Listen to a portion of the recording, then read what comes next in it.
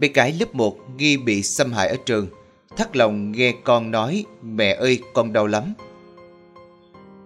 Gặp lại chị Lai sau gần 3 tháng kể từ ngày Chị phát hiện con của mình có dấu hiệu nghi bị xâm hại ở trường.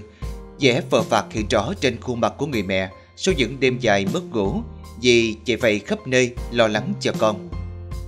Bắt đầu câu chuyện trong nước mắt, chị lại nhớ lại những tháng ngày kinh khủng đã xảy ra với gia đình chị kể từ lúc phát hiện con của mình bị chảy máu dụng kính sau khi tan học. Từ lúc biết được sự việc, tôi như chết đi sống lại.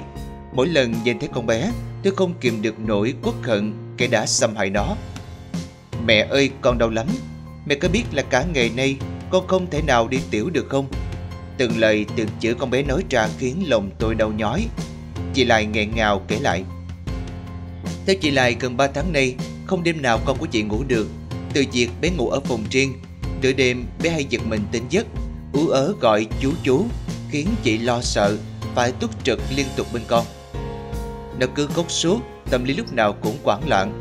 Mỗi lần nhớ lại bị xâm hại là nó lại khóc. Nhìn thấy con như vậy, lòng tôi đau như cắt. Hai vợ chồng chỉ biết động viên nhau, cố gắng giúp con ổn định tâm lý. Từ một căn nhà lúc nào cũng đầy ấp tiếng cười, chị lại hạnh phúc bên chồng con sau những giờ làm việc căng thẳng, thì giờ đây căn nhà bỗng trở nên im ắng lạ thường. Không một tiếng cười nói, không một lời trò chuyện với nhau. Hai vợ chồng chỉ biết nhìn nhau rồi thở dài ngao ngán trước tai họa ập đến gia đình mình. Tôi đi làm rồi về như người mất hồn, cũng chẳng thiết ăn uống gì cả. Giờ chỉ mong vụ việc được tiếp tục điều tra làm rõ, chứ cứ kiểu này hoài gia đình tôi sao chịu nổi. Dù vụ việc đã xảy ra gần 3 tháng, nhưng cho đến nay vẫn chưa có một thông báo hay kết luận điều tra nào của công an về đối tượng nghi là xâm hại bé. Cứ mỗi lần công an hẹn lên làm việc, con bé lại lo sợ, nói với tôi sao các chú hỏi con hoài mà vẫn chưa bắt chú D. Tôi yêu cầu công an cho con bé nhận diện đối tượng thì báo là sợ con bé hoảng loạn. Cứ thế, kéo dài cho đến tận bây giờ, vẫn chưa có kết quả gì cả. Tôi sợ lắm, sợ vụ án sẽ bị chìm xuống. Khó khăn chồng chất khó khăn, hết chạy đầu này đến lặn lội nhờ người trợ giúp, gõ cửa từng cấp chính quyền, với mong mỏi được cứu xét, làm rõ nghi vấn con gái 7 tuổi của mình bị xâm hại ở trường. Dù rất mệt mỏi, nhưng chị lại quyết tâm không bỏ cuộc. Chị lại bật khóc. Nhiều người bạn biết chuyện khuyên tôi bỏ đi, mình thân cô thế cô, sao đấu lại với đê được. Nhưng thử hỏi, người làm mẹ như tôi làm sao có thể quên được chuyện đã xảy ra với con gái của mình khi hàng ngày nỗi ám ảnh bị đê xâm hại vẫn tồn tại trong con bé. Mỗi lần con bé nghe theo hỏi tôi tại sao chú đê vẫn chưa bị bắt, người làm mẹ như tôi đau đớn vô cùng.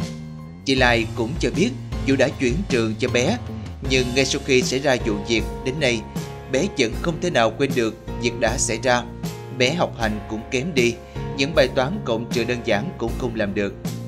Chị cho biết, cứ nhắc đến trường đó, con bé lại nhớ đến cảnh bị đê từ sâu bắt lấy rồi xâm hại, mặc cho bé gào thét, cầu cứu những đứa trẻ khác trong vô vọng. Con bé cầm kết tất cả những người ở đó vì đã làm bé đau. Đối mặt với tất cả áp lực từ mọi phía, chị lại vẫn cố gắng gượng đi, gõ cửa nhiều cấp chính quyền, với hy vọng mong manh rằng nỗi đau của một người mẹ có con gái bị xâm hại sẽ nhận được sự đồng cảm từ phía xã hội. Có nhiều người lên mạng xã hội nói rằng tôi tự bịa chuyện, rằng tôi tâm thần nên mới giận lên nói con gái mình bị xâm hại. Nghe được những lời đó tôi ức lắm, tôi không hiểu vì sao những người đó lại thốt ra những câu nói như vậy. Có người mẹ nào để tự đặt chuyện con mình bị xâm hại hay không? Có thể những người đó chưa được làm mẹ, chưa hiểu được nỗi đau khi chứng kiến những vết thương cả trên cơ thể tâm hồn của con gái mình. Chị lại lau nước mắt.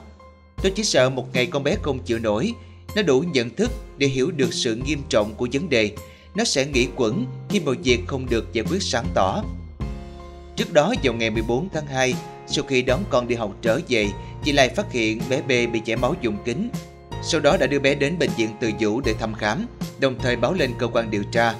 Dựa vào kết quả pháp y cho biết Môi lớn, môi bé và mặt trong đùi phải của cháu B đều bị bầm tụ báo. Âm hộ bị sung huyết xung quanh lỗ niệu đạo, xây sát hai bên mũ âm Phật. Kết luận là có tế bào người nam trong dịch âm đạo cũng như làm rõ việc dữ liệu camera số 4 bị mất đúng thời điểm bb được cho là xâm hại. Lấy lời khai các bên liên quan, chị lại mong muốn được làm sáng tỏ vụ án để trả lại công bằng cho con gái của chị. Tuy nhiên, sau một tháng kể từ ngày bé B bị xâm hại, phía cơ quan điều tra lại chưa đưa ra một kết luận hay thông tin nào. Ngày 10 tháng 3, chị lại gửi thư cầu cứu đến 10 cơ quan báo chí tại thành phố Hồ Chí Minh để nhờ sự giúp đỡ. Ngày 13 tháng 3, Công an quận Thủ Đức đã tổ chức họp báo thông tin rõ về nghi án bé gái lớp 1 bị xâm hại tình dục do đại tá Lê Anh Tuấn, trưởng công an quận Thủ Đức chủ trì. Qua đó, phía cơ quan chức năng cho biết đang tiến hành điều tra, làm rõ vụ án một cách minh bạch, khách quan nhất. Nước mắt người mẹ có con gái 7 tuổi bị nghi xâm hại tại trường. Tuy nhiên, gần 2 tháng kể từ lúc họp thông tin về vụ việc, phía cơ quan điều tra vẫn chưa đưa ra bất kỳ thông tin mới nào về vụ án. Quá bức xúc trước vụ việc, một lần nữa ngày 4 tháng 5, chị lại tiếp tục gửi đơn kêu cứu đến các cấp chính quyền, đồng thời chị cũng gửi bức tâm thư đến các cơ quan báo chí nhờ sự giúp đỡ về nghị án. Con cái của chị bị xâm hại tình dục ngay tại trường tiểu học LTV